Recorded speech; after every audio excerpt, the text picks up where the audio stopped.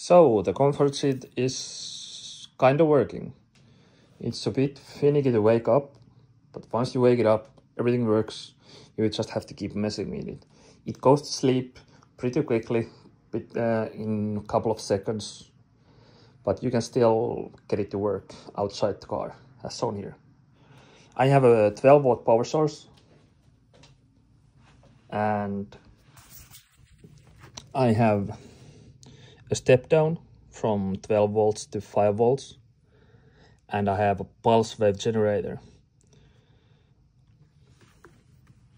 I have power coming to the seat or actually the seat module through this uh, red wire with the blue stripe and the red wire, the thinner red solid red wire is uh, power to the switches or the switch panel on the seat as shown here. I have ground, 12 volt ground coming to the thick brown wire here. Uh, the orange with the green stripe, this is the CAN bus high on this seat. It's going to this yellow wire and the yellow wire goes to the pulse wave generator. Far left, this is the signal out um, so red and uh, black wire are power and ground coming from here. The green wire, this is the CAN bus low. I have it set at uh, 5 volt ground. So if you follow this black wire, it goes to the step down uh, step down inverter here. So now I'm going to show you the, let's say, small problem here. So the seat goes back to sleep really quickly at the moment. So sometimes I have to look which button wakes it up. And it, it can differ. It can be something else.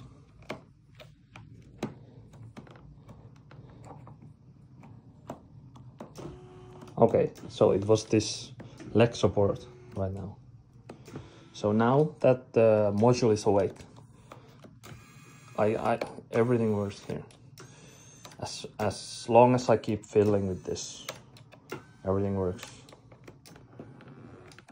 All the tilts, all the adjustments work. Even the lumbar work. But as soon as I let go, couple of seconds, it's back to sleep. So now I have to wait for like 5 to 10 seconds and then find some of these buttons that wakes it up. Let's try now. Forward, back, nothing.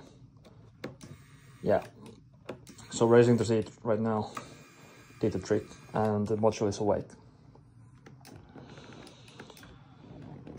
I've tried uh, with the pulse wave generator, I messed with all the settings here, like a lot, and I didn't find any any good setting here. I have it currently set at the second set of pins, which is uh, 50 to 100, uh, 50 to 1000 hertz. The blue pieces here, they're like adjustable switches. So it's 30 revolutions from end to end. This is the duty cycle. I have it set straight in the middle, 15 out or 15 in, how you want to think about it.